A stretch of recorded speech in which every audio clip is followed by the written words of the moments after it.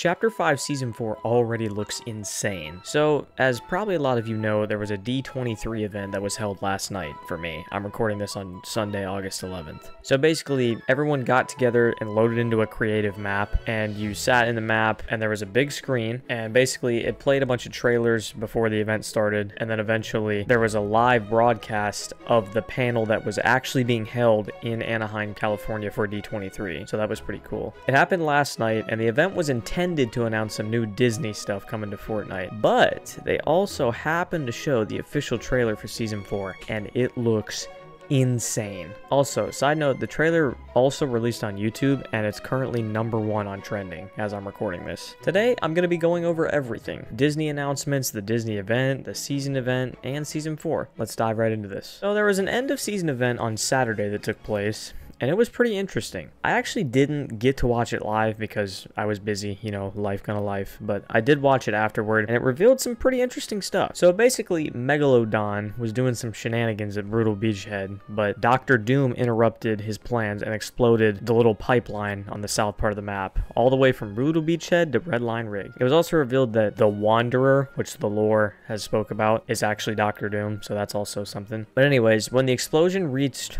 Redline rig, it had a huge explosion, and it revealed Pandora's box as the source of the nitro throughout the island. If you don't know what Pandora's box is in Fortnite, it's a big part of this chapter's lore, so look it up. I don't feel like explaining it. This was a pretty cool mini event. This was a mini event, it wasn't an actual like event event. It wasn't anything like super crazy, but it pieced the lore together from this season to next season, gave us a nice little segue, so it did its job. I can't really give too much of an opinion because I didn't get to watch it live, but from what I've watched, what I've seen, it looked pretty cool. So basically, D23 was holding a live panel in Anaheim. I already explained this a little bit, but just, I'm going to go over it again. They were holding a live panel in Anaheim, California to answer questions about, you know, whatever. But in that event, they also had the Fortnite announcements, which were broadcasted onto a screen in the Disney map that Epic created for the event. I think the map had, it had 1.3 million players at one point, which is insanity. The one bad thing about the event is that it took absolutely forever to start because apparently the live panel went for longer than they thought. So what was supposed to happen is they were supposed to have the live panel and then after that they were supposed to have this event that was broadcast into Fortnite. But apparently the panel went on for a long time and it got delayed a whole bunch. The event was supposed to start at 11:30 p.m. EST, but it actually started closer to 12 a.m. EST. So the event was delayed almost 30 minutes which my boys Aggro Smurf and Pojo and I were not not very happy about that. And the map had coins to collect to keep players entertained, but it didn't take that long to collect them all. Maybe next time Epic just like put a parkour course in the middle of the map or something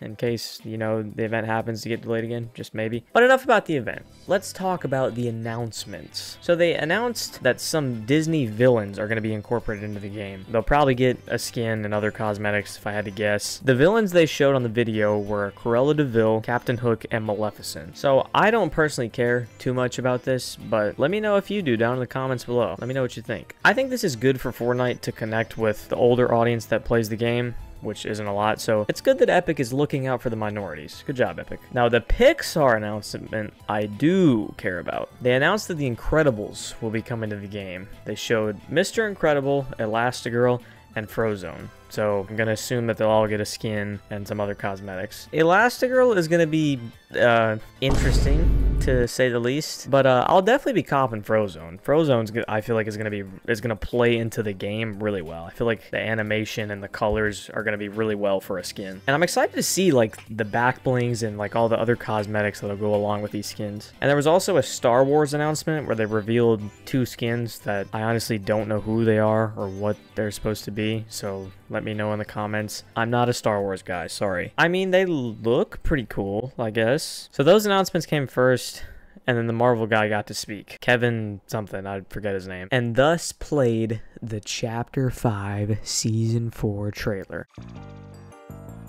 First and foremost, I think this is going to be a great season. There are so many new things coming to the game. They all look pretty good. There's also some really good old stuff returning to the game, like the Scar and Stark Rifle, other stuff. We'll get to that later, though. First thing I want to talk about is the Battle Pass, because I don't really care about it that much. In order, here are the skins. I'm not going to say them all. All the skins look pretty cool from the trailer. I love the decision to make Jonesy Captain America. I love that. It's very cool. I would switch the placement of some of these, like Shuri being a tier 100 skin. That's a little bit questionable to me but I don't care enough about that to complain about it. This is a good battle pass. I was worried that they were gonna like copy the first one a little too much, but they actually didn't. They didn't bite off of it at all, so good job, Epic. There are also other skin concepts like uh, Saber-tooth Meowscles and a Deadpool X fish stick skin or uh, fish pool. They look pretty cool as well. Now to gameplay. First, we'll look at the map changes. Doctor Doom's castle looks absolutely sick. It looks actually insane, and if I had to guess, it'll probably replace Lavish Lair, which is another plus because I don't like Lavish Lair. Also, we have a prison-looking POI that kind of reminds me of the Authority for some reason. Both of these spots look very cool. I'm hoping there's more than just these two. If not, I mean, that's fine, I guess, too. But I'm excited to see how each of these POIs play out in the new season. Also, I think there's going to be a little Galactus spot. That's what I heard according to some images in the trailer. That'll be cool. I'm not sure what they'll do for that, but I'm excited to see. I think these map changes will be pretty good, and I'm, I'm looking forward to landing at Doom's Castle. That I'm hoping they make like a whole little biome for that. It, it looks sick, man. And now for the meta. So returning items, we got the Scar, the Stark Rifle, the AK,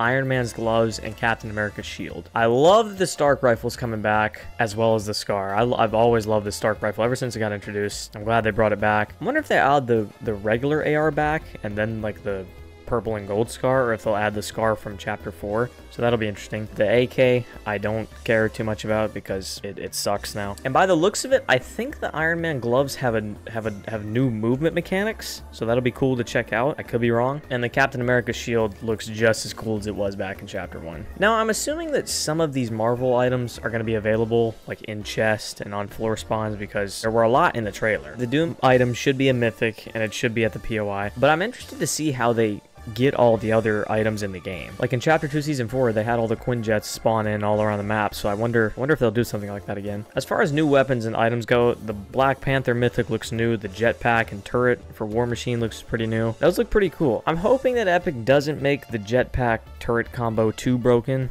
because I could I could definitely see that being a problem going wrong. But I'm gonna put my hope hope cap on. But other than that, I'm really not too worried about stuff being broken because everything in the trailer looks pretty balanced. I think Epic learned their lesson from this season. Good job, Epic. Also new, we have some kind of dual SMGs coming. That kind of concerns me a little bit. That'll be interesting to see. There's a new sniper coming and a new pistol as well, I believe. And also, I, I think they said they're gonna add some kind of Stark shotgun, kind of like the Stark rifle. So I'm super excited to see that, if that is true. Overall, I feel like this is going to be a really good, fun season, and I need that after this season. I was kind of worried that Epic was going to make the season really broken and unbalanced, but after seeing the trailer, I'm I'm not too worried. And I know the trailer doesn't dictate how the season's going to go, but this season looks genuinely fun. I'm excited for it. Stay tuned for season 4 content. Anyways, that's going to do it for the video. Thank you guys so much for watching.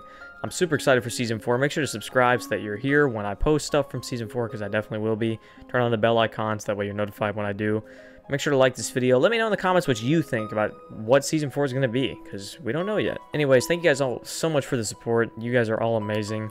Uh, the, the, just the the growth we've seen is just amazing. I, I love you guys so much. Anyways, I will see you in the next one. I love you. Peace out.